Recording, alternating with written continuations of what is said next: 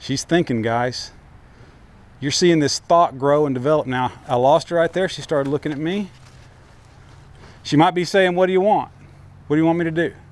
So I'm going to tell her what I want her to do. I want her to go toward that trailer.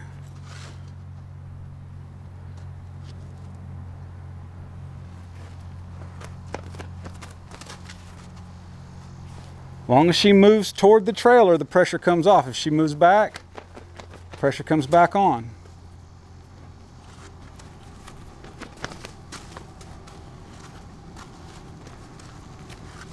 The key to success here is to make it sufficiently uncomfortable out here that she doesn't want to be out here.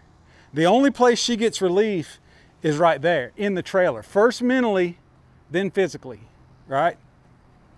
If she's thinking about that trailer, she's getting relief.